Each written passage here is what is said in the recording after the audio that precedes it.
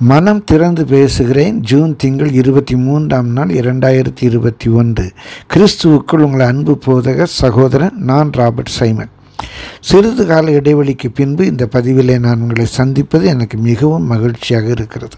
நம்முடைய கிறிஸ்தவ உலகத்தில் அதிகமாக ஜபமே ஜீவன் ஜபமே ஜெயம் என்று ஜபத்தை குறித்து அதிகமாக நான் பேசுவது உண்டு. இந்த ஜபம் என்ற தமிழ் சொல் நம்முடைய தமிழ் வேதாகமத்தில் முதல் முறையாக ஒன்று சாமியில் இரண்டாம் அதிகாரம் ஒன்றாம் வசனத்தில் வருகிறதை நாம் பார்க்கிறோம்.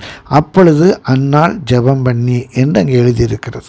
முதல் பத்து வசனங்களிலே அன்னாளுடைய ஜெபத்தை பார்க்கிறோம். அப்பொழுது அன்னாள் ஜெபம் பண்ணி இப்படியெல்லாம் ஜெபித்து என்று துதித்தாள் என்று முடிகிறது. ஆனால் ஆங்கிலத்தில் சற்று வித்தியாசமாக இருக்கிறது.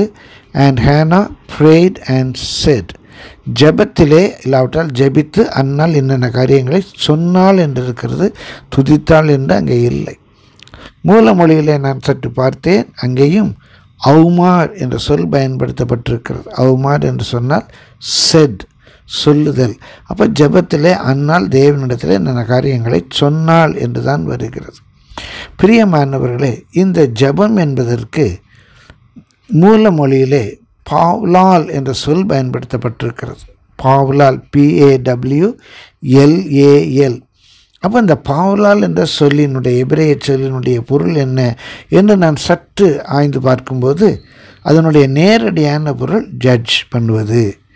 நீதியான ஒரு தீர்ப்பை நிதானித்து நியாயமான ஒரு தீர்ப்பை சொல்வதற்கு தான் பிரியமல்ல அதற்காக நான் வேண்டிக் கொள்வது ப்ரேயர் அது வழக்கத்தில் இன்டர்சீடிங் டு இன்டர்வீன் ஒரு ராஜா ஒரு நீதிபதி ஒரு தலைவர் பிரியமானவர்களே இடைபடும்படியாக அந்த பிரச்சனையில் தலையிடும்படியாக தலையிட்டு ஒரு நல்ல தீர்ப்பை ஒரு நல்ல முடிவை வழங்கும்படியாக அவரிடத்திலே பரிந்து பேசுவது வேண்டுவது அதற்குத்தான் பாவ்லால் என்ற பெயர் இன்டர்சீடிங் டு இன்டர்வியூ நீங்கள் தான் இதில் எப்படியாவது இடைப்பட்டு தலையிட்டு எப்படியாவது ஒரு நல்ல முடிவை கொண்டு வர வேண்டும் என்று அந்த தலைவனிடத்திலே ராஜாவிடத்திலே இறைவனிடத்திலே வேண்டிக் கொள்வதற்குத்தான் பாவ்லால் என்ற பெயர் அதனால் தான் இன்றைக்கு நீதிமன்றத்தில் இந்த ப்ரே என்ற சொல் மிக அதிகமாக பயன்படுத்தப்படுகிறது. பாவ்லால் என்ற எபிரேய சொல் நம்முடைய பழைய ஏற்பாட்டிலே எபிரேய மொழியில் எண்பத்தி நான்கு முறை வருகிறது என்று பார்த்தேன். எண்பத்தி நான்கு முறை வரும்போது எழுபத்தாறு முறை ப்ரே ப்ரேயர் ப்ரேயர் சப்ளிகேஷன் என்றெல்லாம் ஆங்கிலத்தில் அது மொழிபெயர்க்கப்பட்டிருக்கிறதை நான் காண்கிறேன். அப்போ நான் கொஞ்சம் யோசித்து பார்த்தேன் இந்த பாவ்லால் இப்படி நம்ம ஆண்டவரே நீங்கள் தான் தலையிடணும் என்று அவரிடத்தில் வேண்டிக் கொள்ளுகிற இந்த எபிரேய சொல் முதல் முதலாக வேதத்தில் எங்கே வருகிறது என்று பார்த்தேன். மிக ஆச்சரியமாக இருந்தது.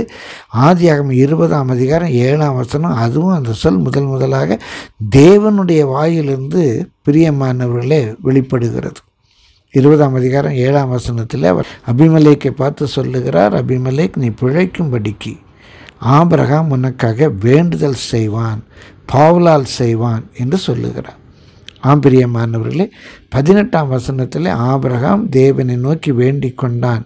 ஏப்ரஹாம் பிரேட் அண்ட் காட் என்று இருக்கிறது இங்குதான் முதல் முறையாக நம்முடைய வேதாகமத்திலே தேவனிடத்தில் தேவன் இன்டர்வியூன் பண்ணும்படியாக இடைபடும்படியாக இடைப்பட்டு ஒரு நல்ல முடிவை கொடுக்கும்படியாக ஒரு நீதிமான் தேவனிடத்திலே இறைவனிடத்திலே வேண்டிக் கொள்வதை முதல் முதலாக இந்த இடத்துல தான் நான் பார்க்கிறோம். அப்படி ஆபிரகாம் ஜெபிக்கும்போது அந்த வசனத்தில் சொல்லப்பட்டிருக்கிறது அப்பொழுது தேவன் அபிமலைக்கையும் அவன் மனைவியையும் அவன் வேலைக்காரிகளையும் குணமாக்கி என்று இருக்கிறது ஆங்கிலத்தில் ஆண்ட் காட் ஹீல்ட் அபிமலேக் அந்த ஆண்ட் என்ற சொல் அங்கே மிக பொருள் நிறைந்ததாக இருக்கிறது. ஆண்ட் என்று சொன்னால் அது ஒரு கன்ஜங்ஷன் ஒரு லாஜிக்கல் கண்டினியூஷனை காட்டுது. அதனுடைய பொருள் என்ன? இப்படி ஆபரகாம் ஜெபித்தான் அந்த ஜெபத்தின் விளைவாக as an answer to prayer அந்த ஜெபத்தின் விளைவாக God healed Abimelech and his wife and his maid servants திரும்பவும் அந்த ஆண்ட் வருகிறது. அண்ட் தே பேர் சில்ட்ரன் பிரியமானவர்களே தேவன் அவளை குணமாக்கினார். அதன் விளைவாக பிள்ளை பெறும்படி அனுக்கிரகம் கிடைத்தது. தேவன் அனுக்கிரகம் பண்ணினார். அப்படியானால் அதனுடைய பொருள் என்ன? இப்படி ஜெபிக்கும்போது அதன் விளைவாக தேவனுடைய குணமாக்கினால் அதன் விளைவாக அந்த தடைகள் நீங்கி போயின. பிரியமானவர்களே நாம் ஜெபம் என்பது தேவன் இடைப்பட்டு தேவன் எப்படியாகிலும் தலையிட்டு ஒரு நல்ல தேவனுக்கு நீதியான ஒரு முடிவை ஒரு தீர்ப்பை நமக்கு கொடுக்கும்படியாக ஒரு இரக்கத்தின்படி தேவன் நமக்கு நியாயம் செய்யும்படியாக நமக்காக மற்றவர்களுக்காக தேவனிடத்தில் வேண்டிக் கொள்வதுதான் ஜெபம் என்று நாம் பார்க்கிறோம். ஜெபமே ஜெயம் ஜெபமே ஜீவன்.